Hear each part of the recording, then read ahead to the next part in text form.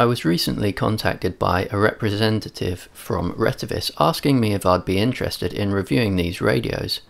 I had a quick look at them and thought why not. They look quite standard but it would be good to see how the license-free radio market is doing now since I haven't bought any for quite a few years. And I'm actually quite impressed.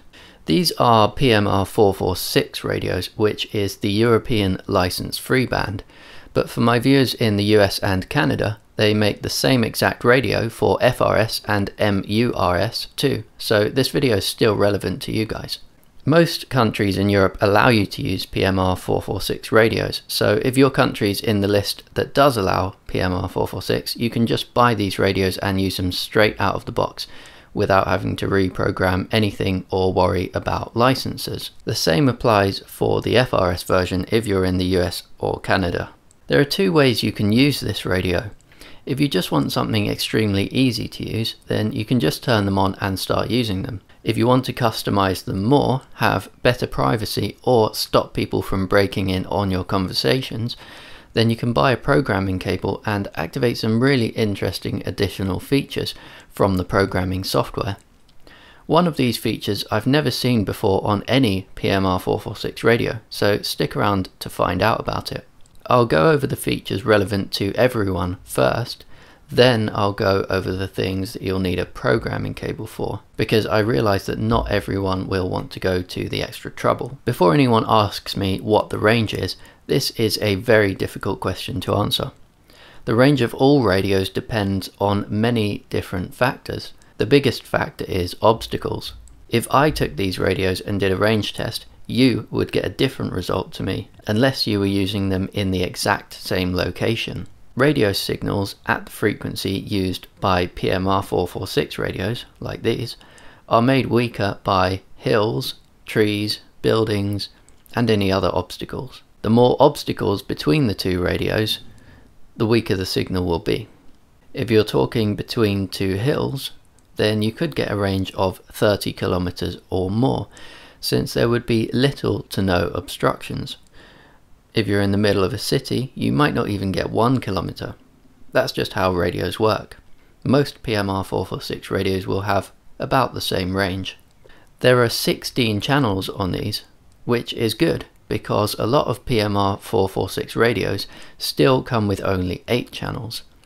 The law was changed a few years ago to allow the extra 8 channels, having all 16 channels is good because it lets you find a less busy channel.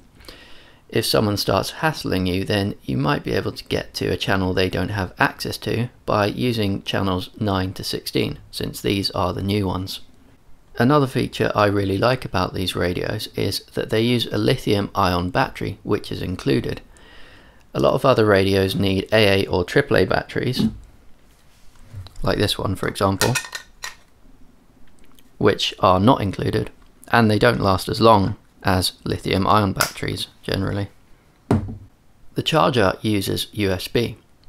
No AC adapter plug is included, but most people already have one. I like the fact that the charger is USB because I think it gives you more opportunities to charge the radio, like I plugged it into my computer to charge. You could also use a portable phone charger or plug it into your car, since lots of cars even have USB ports these days. I also like that the radios don't have what we call a squelch crash. Let me demonstrate this. If I am receiving on this radio, and I transmit on one of the Retevis ones, you can hear the audio there, and you hear the noise at the end of the transmission. That is a squelch crash and it's not very pleasant really because if someone's pretty quiet on the radio you might have to turn your volume way up and then the squelch crash at the end of the transmission is going to be really loud. If I do the same thing on the other Retevis radio, if I turn the volume up there so you can hear it, one, two, three, test, at the end of the transmission it's not going to do the squelch crash. Ready? See at the end of the transmission there, there was no squelch crash, it just exited silently.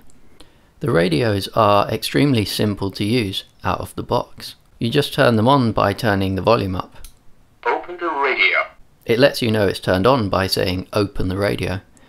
They could have got a fluent English speaker to do the voice prompts because open the radio doesn't make much sense, but never mind, it's a minor thing. You can change the channel by turning this dial. Two. Three. And it reads out the channel you're on. To talk, you just hold the push to talk button and speak into the microphone. You should speak very close to the microphone on this type of radio if you want to get the best range. Otherwise your voice will come over too quiet on the other end and it might be difficult to hear you over the noise. You can scan through all the channels with this button and turn it off again by pressing it for a second time. And this button lets you open the squelch to hear any activity on the channel. The radio supports CTCSS and DCS. These two systems have the same exact function, but work slightly differently. The purpose of CTCSS and DCS is to filter out other people or interference on the channel. What it does is send a code in the audio of your transmissions.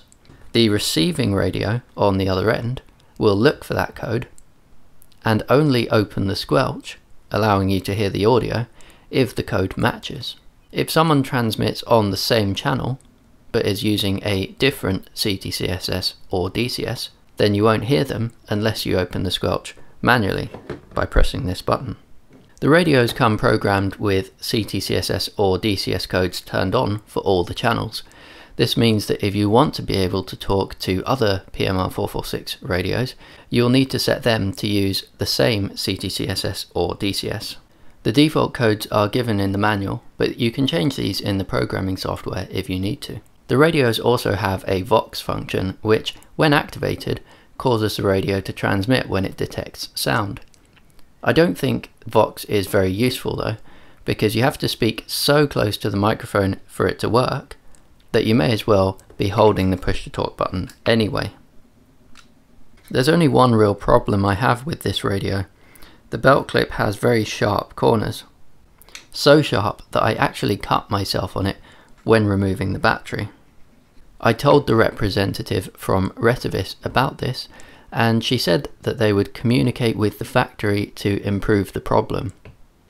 Does this mean it will be fixed? We'll see. I'll put a note about it in the video description if they do fix this. In the meantime, I recommend filing down the corners of the bell clip if you buy this radio. Now let's get to the exciting part. These are the interesting functions you can use if you turn them on in the programming software. Firstly, there is the scrambler. This changes the audio to make it difficult for other people to understand if they don't have the same scrambler setting on their radio. If you set the scrambler on on both of your radios, then they can communicate fine, but other people won't be able to understand what you're saying. This is not encryption and shouldn't be used for anything where security is vital, because there is software that can easily descramble this. It's useful just to make it difficult for people to listen in casually. Maybe if you're playing paintball or airsoft or something similar, and you don't want the enemy team to hear your plans. Let me give you a demonstration of the scrambler. This radio here is on channel 1 and it does not have a scrambler feature. Um, so what I'm going to do is hold this up to the microphone so you can hear the audio from this while I speak into one of these that does have the scrambler turned on.